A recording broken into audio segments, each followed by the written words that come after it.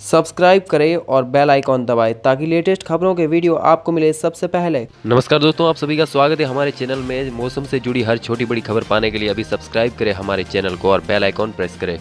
पिछले कुछ दिनों से शांत पड़े मानसून ने हरियाली अमावस पर गुरुवार को फिर मेघ मल्हार छेड़ दिए माउंट आबू से सुबह आठ से शाम आठ बजे तक बारह घंटे में दस इंच बारिश हुई। अजमेर में साढ़े तीन घंटे में ही चार इंच बारिश से ज़्यादा पानी बरस गया। तेज बारिश का अलर्ट, मौसम विभाग ने अगले पाँच दिन में उदयपुर, भीलवाड़ा, चित्तौड़गढ़, सिरोही, राजसमंद, कोटा, सवाईमाधोपुर, अलवर, झुंझुनू, सीकर में तेज बारिश का अलर्ट जारी कर दिया है।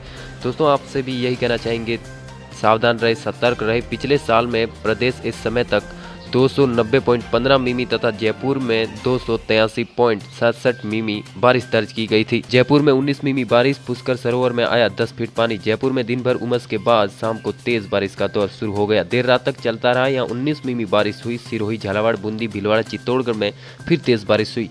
अजमेर में पुष्कर सरोवर जल स्तर दस फीट बढ़कर तेबीस फीट हो गया।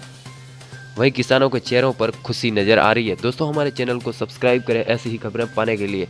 मिलते हैं नई खबर के साथ।